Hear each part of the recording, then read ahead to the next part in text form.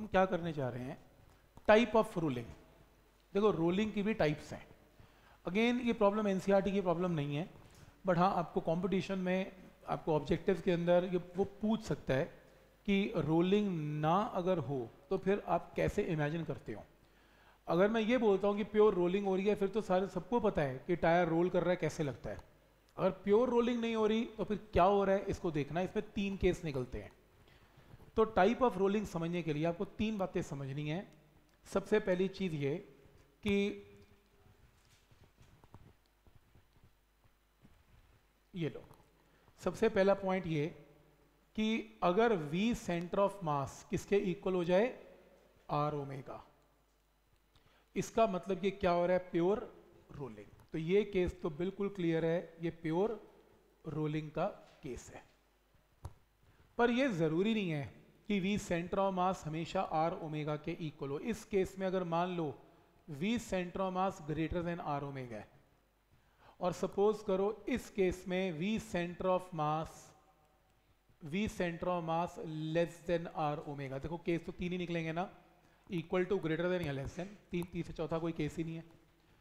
अगर तो ये वाला केस है प्योर रोलिंग फिर तो समझो प्रॉब्लम ही नहीं है। फिर तो बॉडी सीधी जाती जा रही है v is equal to r omega लगा दिया हमने। और बॉडी के सारे पार्टिकल सेंटर ऑफ़ मास के अबाउट घूमते जा रहे हैं। बॉडी बिल्कुल भी स्लिपिंग नहीं कर रही, कोई स्किडिंग नहीं कर रही प्योर रोलिंग में बॉडी कभी भी स्केट या स्लिप नहीं करती।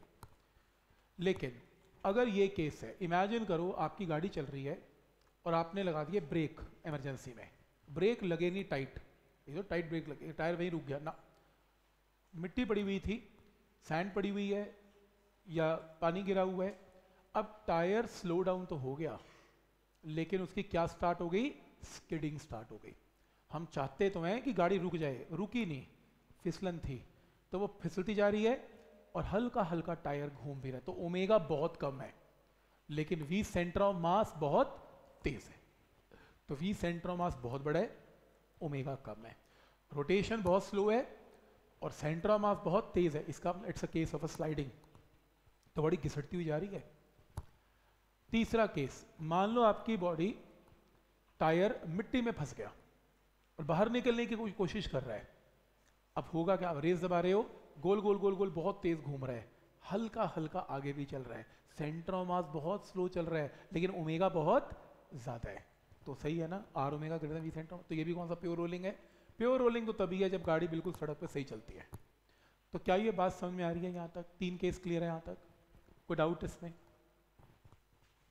ठीक है? अब इस केस में ये प्योर रोलिंग है, ये प्योर रोलिंग नहीं है। अगर ये प्योर रोलिंग है तो बताओ इसके सेंटर ये ये जो बॉटम मोस्ट पॉइंट है, इसकी वेलोसिटी हमेशा क्या रहेगी? ज़ीरो और अगर ये प्योर रोलिंग नहीं है तो सोचो आर ओमेगा ये रहा वी सेंटर मास ये रहा, ऐसे ना?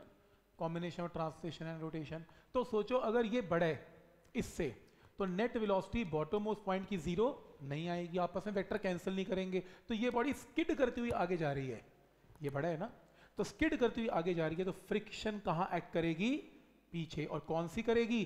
कानेटिक क्योंकि घिसटती हुई जा रही है ना? और स्लाइड करती हुई जाएगी तो कानेटिक और यहाँ पर बॉडी आगे तो जा रही है। फ्रिक्शन भी है, बिना फ्रिक्शन बॉडी रोल नहीं कर सकती। यहाँ पर कौन सी फ्रिक्शन है? स्टैटिक प्योर रोलिंग में कभी भी कानेटिक होती नहीं। प्योर रोलिंग में हमेशा स्टैटिक ही होती है। क्योंकि बॉटम ऑफ़ पॉइंट की वेलोसिटी क्या होती है? ज़ीरो और बॉडी फिसलती हुई या स्किड करती हुई जाती नहीं है। इसलिए कानेटिक होती नहीं है। क्या पॉइंट क्लियर है यहाँ तक? इसमें हमेशा कानेटिक होती है। अब सोचो इस केस में क्या हुआ? आर ओमेगा बहुत बड़ा है। और वी सेंटर ऑफ़ मास बहुत छोटा है। अगर ये बड़ा है तो इधर को स्लाइडिंग हो रही है तो फ्रिक्शन कहाँ एक्ट करेगी? आगे। और कौन सी? कानेटिक तो अगर बॉडी प्योर रोलिंग में नहीं है तो कौन सी फ्रिक्शन है? काइनेटिक और अगर बॉडी प्योर रोलिंग में है तो कौन सी फ्रिक्शन है? स्टैटिक समझ में आ रहा है कि कैसे ये टाइप ऑफ़ रोलिंग डिफाइन की गई इसमें? ठीक है? तो अभी तक जितने भी क्वेश्चन हमने किए रोटेशन में, एक महीने में, हमने एटलीस्ट ये क्वेश्चन सॉल्व नहीं किया, ना मैंने आपसे कोई पूछा कि बॉडी रोल कर रही है फ्रिक्शन निकाल दो। चेक कर लो, एक भी क्वेश्चन नहीं गया फ्रिक्शन पे। ठीक है? तो अब करते हैं।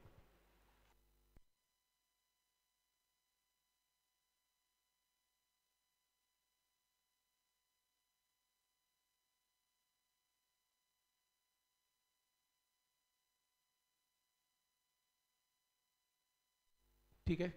तो क्या ये पॉइंट यहाँ तक क्लियर है? ठीक। अब टाइप ऑफ़ फ्रिक्शन के अंदर या टाइप ऑफ़ रोलिंग के अंदर, ये देखो, दो केस बना दिए। पहला प्योर रोलिंग बिना स्लाइडिंग के, दूसरा rolling with sliding pure rolling में क्या बताया? V is equal to r omega applicable है। ये वेक्टर ये वेक्टर बराबर हो जाते हैं और बॉटम ऑफ़ पॉइंट की वेलोसिटी क्या हो जाती है?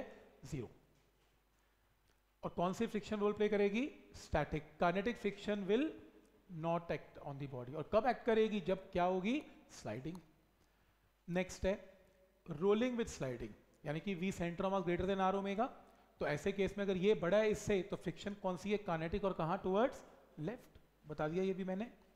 अब हो सकता है बॉडी शुरू में स्किड कर रही हो, और फिर वो एक पक्की सड़क पे आ गई और प्योर रोलिंग स्टार्ट हो गई। जैसी प्योर रोलिंग स्टार्ट होगी, फिर ये फॉर्मूला फिर से एप्लीकेबल हो जाएगा।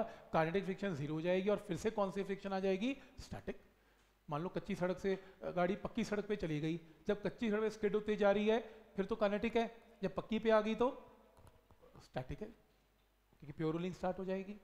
पर ये ज़रूरी नहीं ना, वो तो गाड़ी पे डिपेंड करता है, कोई लेके जा रहा है कि नहीं लेके जा रहा। ठीक? तो अगर प्योर रोलिंग है तो स्टैटिक है। अगर प्योर रोलिंग नहीं है तो कानेटिक है। अगर मान लो टायर फंस गया आर ओमेगा बड़ा है वी सेंटर ऑफ़ मास से तो बॉडी आर ओमेगा इस तरफ़ बड़ा है तो कानेटिक फ्रिक्शन आगे की तरफ़ होगी। और अगर, थोड़ी देर में गाड़ी का टायर निकल गया गिली मिट्टी से तो फिर प्योर रोलिंग स्टार्ट हो जाएगी और v is equal to r omega हो जाएगा। ठीक? तो ये कॉन्सेप्ट है। जब हमने फॉर्मूला किया था acceleration of centre of mass की डेरिवेशन की थी, और हमने पहली बार मैंने ही बोला था फ्रिक्शन के बिना रोलिंग नहीं होगी। वो कौन सी फ्रिक्शन थी?